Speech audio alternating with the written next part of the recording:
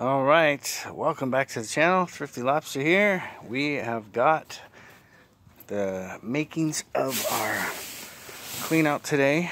These are some of the shoes we got. We got some Converse over here. Some shoes that were made in Africa. We got to look those up. Uh, we got some leather ponies here the dark ones. These are some New Balance, some more ponies. The Toms, those ought to fetch some good money. These shoes here, these are Johnston's and Murray's, or Johnston. Johnston and Murf Murphy. Murphy, yeah, Murphy. Uh, so we got some shoes. Got some bindings for snowboard, some Burtons, a Hello Kitty refrigerator, some Batman, activity set, some kind of fruit ice cream maker. We've got uh, some shorts. These are J. Crew's. Uh, this is an Adidas basketball sportswear. This is some knockoff denim. Um, these are J. Crew. This is a Champion sportswear. J. Crew. Um, we got a name of jean or denim in there that I don't know of, but I'll look those up. So I'm thinking those would be eBay. It's my donation area. I haven't gone through that. We got a boogie board out of it. Got this Bell motorcycle helmet. Had to get a couple dollars on it. It's got a bit of a scratch there, but should should still fetch some some money. Um, this is mainly just kids clothing here. I'm not to go through.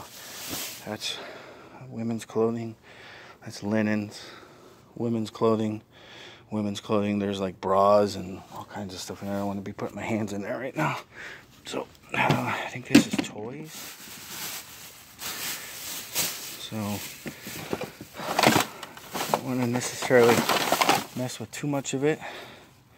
But stuff like this, I'll take out and uh, put online for sure.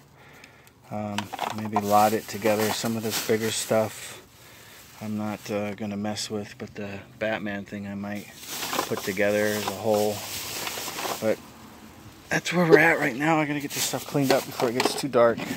But I wanted to dig through it and check out the shoe situation so we can start pricing out some of those shoes. well, this is from the clean out that we did. And uh, I got a couple more bags to kind of sift through. I'm going to go through this tomorrow, more intense. But for tonight, I can get those on there and start looking at comps for these shoes and figure out if I'm going to keep them or donate them so I can spend the time to clean them up.